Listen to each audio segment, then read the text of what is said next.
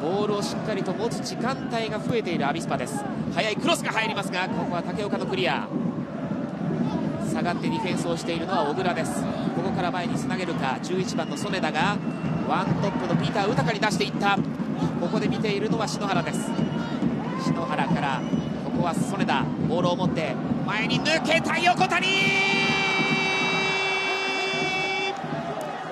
先制点はワンフォーレ甲府！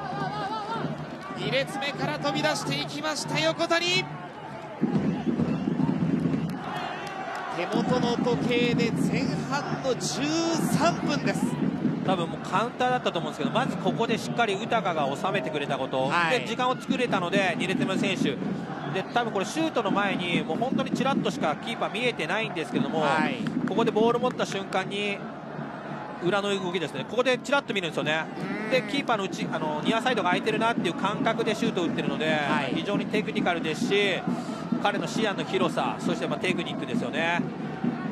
まあ、チーム全体でしっかりこうペナルティーボックス内にどうやって進入するのかどうやってゴール決めるのかってことをしっかり体現できたね素晴らしいゴールでしたよね。今シーズンの3得点目横谷。まあ、閉塞感が漂っている、まあ、現状の甲府の中で